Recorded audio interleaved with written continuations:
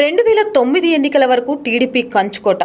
అయితే గత ఎన్నికల్లో వైసీపీ నుంచి పోటీ చేసిన కొడాలి నాని ఇక్కడ టీడీపీని ఓడించి వైసీపీ జెండా ఎగరేశాడు. దీంతో పార్టీ మళ్ళీ పూర్వ వైభవం తీసుకురావాలని టీడీపీ తీవ్ర ప్రయత్నాలు చేస్తుంది. టీడీపీ అభ్యర్థిగా దేవినేని అవినాష్ని ఎంపిక చేసి నాని ఓటమికి వ్యూహాలు సిద్ధం చేస్తోంది. కొంతకాలంగా స్తబ్దుగా ఉన్న టీడీపీ శ్రేణులు అవినాష్ రాకతో కథం తొక్కుతున్నాయి. గుడివాడ చరిత్రలో గతంలో ఎన్నడూ లేని రీతిలో అవినాష్ నామినేషన్కి తరలివచ్చిన భారీ జనసందోహమే దీనికి నిదర్శనమని రాజకీయ పరిశీలకులు భావిస్తున్నారు. ఎన్నికల ప్రచారంలో దేవినేని అవినాష్కు యువత మహిళలు వృద్ధుల్లో లభిస్తున్న ఆదరణ వైసీపీ శ్రేణులకు గుబులు పుట్టిస్తోంది. గుడివాడ పట్టణం గ్రామీణ ప్రాంతాలనే తేడా లేకుండా యువత అవినాష్తో సెల్ఫీలు దిగేందుకు ఉత్సాహం కనబరుస్తోంది. ప్రచారంలో భాగంగా అవినాష్ ఎక్కడికి వెళ్ళినా మహిళలు హారతులతో స్వాగతం పలుకుతున్నారు.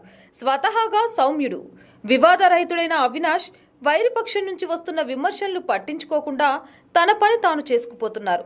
ప్రచార పర్వంలో అందరిలో ఒక్కడిగా మమేకమవుతున్న అవినాష్ తీరు ప్రజలను ఆకట్టుకుంటుంది. స్థానికుడు కాదని ప్రత్యర్థుల ఆరోపణలను అవినాష్ బలంగా తిప్పికొడుతున్నాడు. స్థానిక సత్యనారాయణపురంలో ఇల్లు తీసుకొని ఉంటున్న ఆయన తన ఫోన్ నెంబరు అడ్రస్సు చెప్పి ఎవరికి ఏ అవసరం వచ్చినా నేరుగా సంప్రదించవచ్చని భరోసా ఇస్తున్నారు. కొడాలి నాని పేరుకు స్థానికుడైన ఎప్పుడూ హైదరాబాద్లోనే ఉంటూ ఫోన్లో కూడా అందుబాటులో ఉండడని టీడీపీ శ్రేణులు వైసీపీ విమర్శలను తిప్పికొడుతున్నారు. సమస్యల పరిష్కారానికి ధీటుగా ప్రతిస్పందించే నాయకుడు రావడంతో టీడీపీ ద్వితీయ శ్రేణి నాయకులు కార్యకర్తల్లో ఆత్మస్థైర్యం పెరిగింది. ప్రత్యర్థుల కన్నా ముందే ఏలూరు రోడ్డులో ఎన్నికల కార్యాలయాన్ని ప్రారంభించి ఎన్నికలను ఎదుర్కొనే దిశగా కార్యకర్తలను సిద్ధం చేశారని అవినాష్ను సీనియర్ నాయకులు ప్రశంసిస్తున్నారు. టీడీపీ ఆవిర్భావం తర్వాత గుడివాడ నియోజకవర్గంలో ఏడు సార్లు విజయబావుట ఎగురవేసిన చరిత్రను పునరావృతం చేయాలనే కసి ప్రతి కార్యకర్తల్లోనూ కనిపిస్తోంది.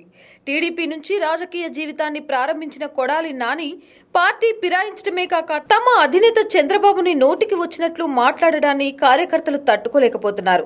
అందుకే నానిని ఈసారి ఎలాగైనా ఓడించి గుడివాడను చంద్రబాబుకు బహుమతిగా ఇవ్వాలన్న కసిని కార్యకర్తలు కనబరుస్తున్నారు. పార్టీలో ఉన్న లుకలుకలు బలహీనతలను ఉపయోగించుకునే కొడాలి నాని వ్యూహాలు అవినాష్ ముందు పనిచేయవని పలువురు నేతలు వ్యాఖ్యానిస్తున్నారు. మరి కొడాలి కోటను అవినాష్ బద్దలు కొడతారో లేదో వేచి చూడాలి.